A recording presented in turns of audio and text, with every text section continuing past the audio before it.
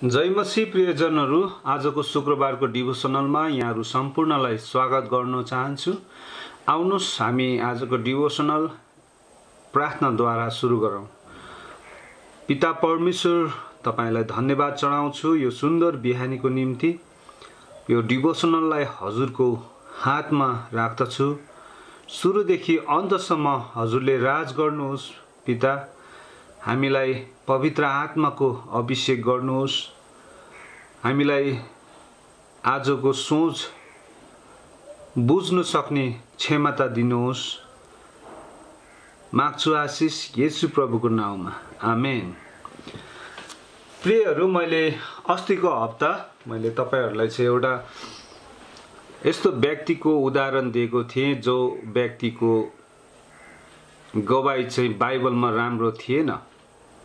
तिनी मनस्य थिए राजा हिजकियाका छोरा जसले चाहिँ परमप्रभुको दृष्टिमा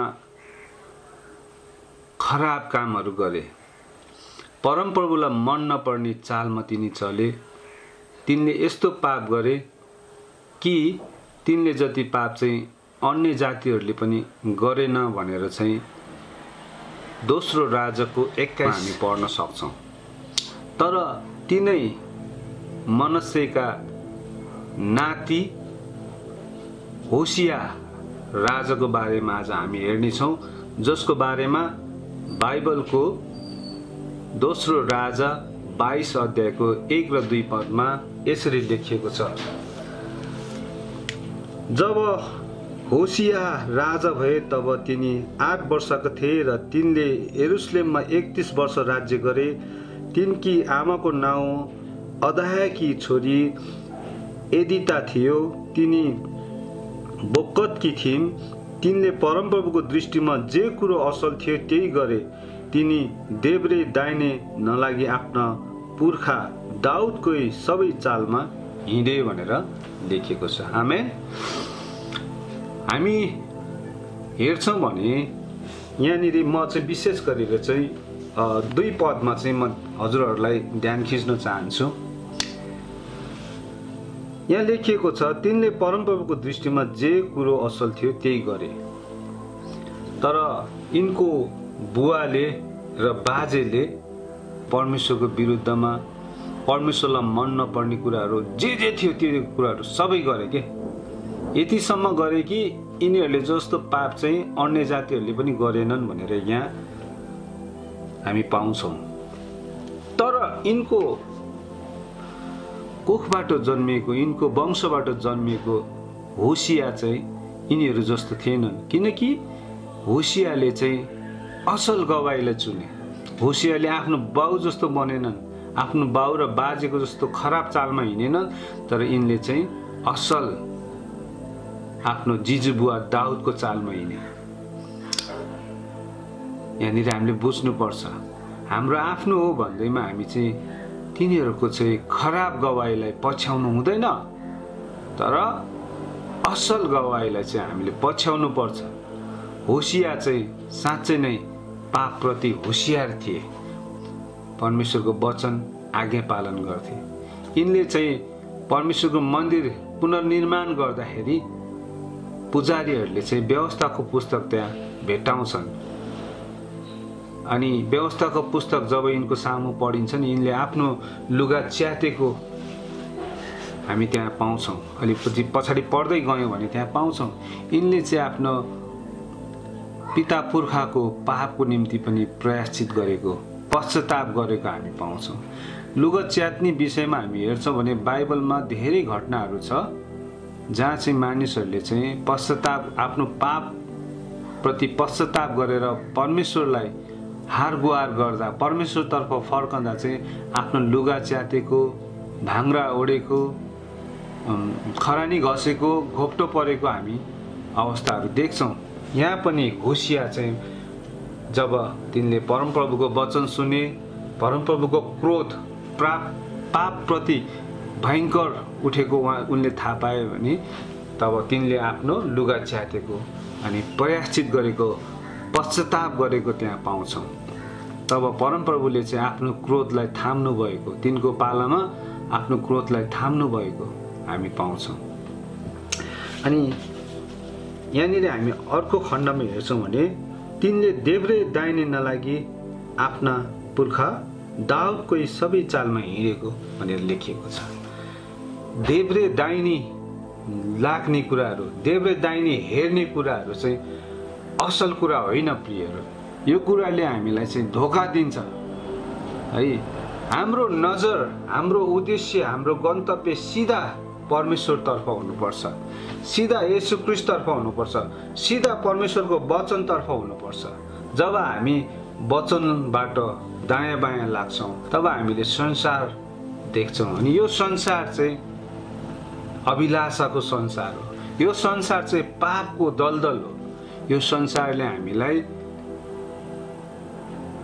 परमेश्वरतर्फ नबढोस् भन्ने चाहन्छ। शैतान दुष्ट यो संसारको देव हो। त्यस कारणले शैतान चाहिँ जहिले पनि परमेश्वरको अगेन्स्टमा विरुद्धमा छ अनि ऊ चाहँदैन कि हामी चाहिँ परमेश्वरतर्फ बढौँ।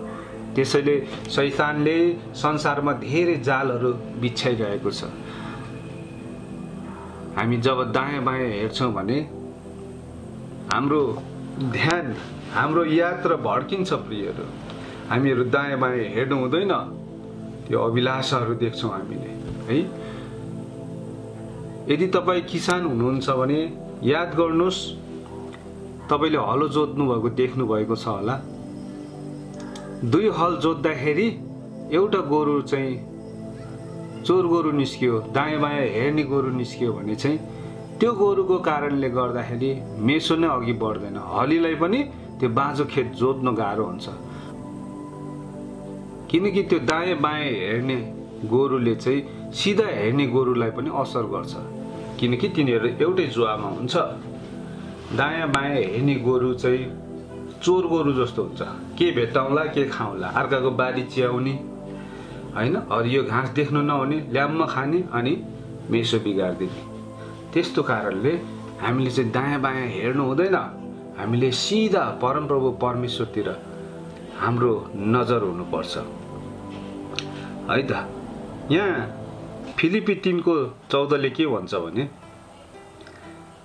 क्रिस्ट यसुमा परमप्रभुको स्वर्गीय बोलावट पाइने पुरस्कारको निम्ति निशानातिर म जोडसँग अघि बढ्दछु भनेको छ। है? पाउलोसले यो कुरा भनेको छ। म चाहिँ दायाँ बायाँ हेर्दिनँ है? क्रिस यसुमा पाइने पुरस्कार संसारको अभिलाषातिर होइन संसारको थोकहरूतर्फ होइन तर म क्रिस यसुमा पाउने पुरस्कारतर्फ हेरेर अघि बढ्छु। त्यो पनि गति साथ है?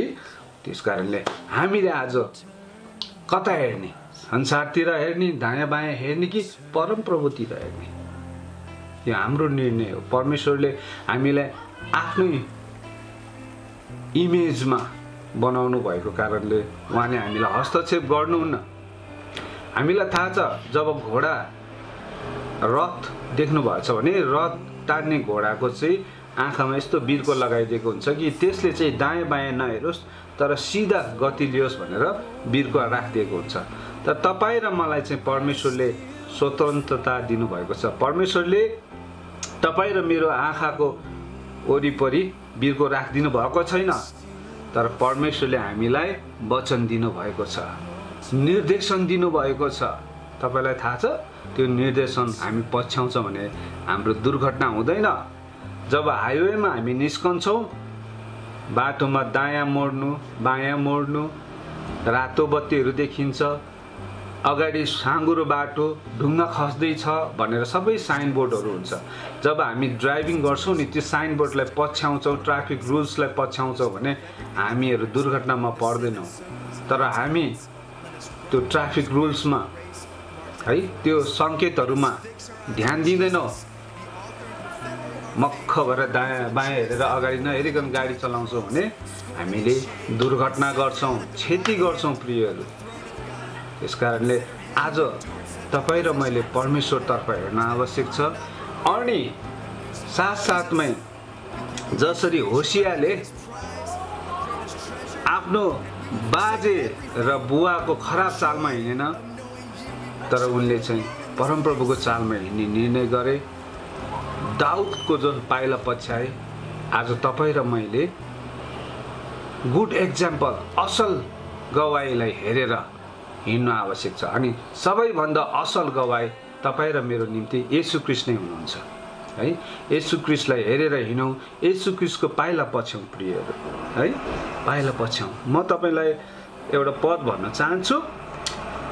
पहिलो पत्रुस दुईको एक्काइस र बाइस। यहाँ के लेखिएको छ? किनकि यसैको निम्ति तिमीहरू बोलाएका हौ क्रिस्टले पनि तिमीहरूका निम्ति कष्ट भोग्नुभयो अनि तिमीहरूका लागि एउटा उदाहरण छोडी जानुभयो र तिमीहरू उहाँकै पाइलामा हिँड्नुपर्छ। उहाँले कुनै पाप गर्नु भएन र उहाँको मुखमा कुनै छलको कुरा पाइएन। हामी यहाँ बाइबलमा यी कुराहरू हामी पढ्न सक्छौँ प्रिय। यसु कृष्ण हाम्रो असल उदाहरण हुनुहुन्छ। यसु क्रिस्टकै पाइला हामी पछ्याउँछौँ प्रियहरू है? उहाँमा कुनै पाप पाइएन अनि उहाँको मुखमा कुनै छल थिएन। हामी उहाँलाई पछ्याउँछौँ। हाम्रो पुरानो स्वभावलाई हामी चाहिँ हाम्रो म केन्द्रित आफू केन्द्रित सो केन्द्रित जीवनलाई छोडेर हामी क्रुस बोकेर हिँड्ने हामी त पुरानो स्वभावमा मरिसक्यौँ। अब त हामी नयाँ स्वभावमा छौँ। नयाँ स्वभावमा छौँ भने त क्रिसको चरित्र हामीसँग हुनुपर्छ। क्रिसको ज्योति हामीमा बोल्नुपर्छ। होइन भने हामी आफैले धोका दिन्छौँ। प्रिय। म तपाईँलाई एउटा वचन आजको निम्ति अन्तिम वचन पढ्न चाहन्छु। यौना चारको चौबिसमा हामी सबैलाई थाहा छ। तर यो कुरा हामी जति जति पढ्छौँ नि परमेश्वरको वचन त्यति नै हामी ताजा महसुस गर्छौँ। आउनुहोस् पढौँ हामी। परमेश्वर आत्मा हुनुहुन्छ र उहाँका आराधकहरूले आत्मा र सत्यतामा आराधना गर्नुपर्छ। हामी जय मसी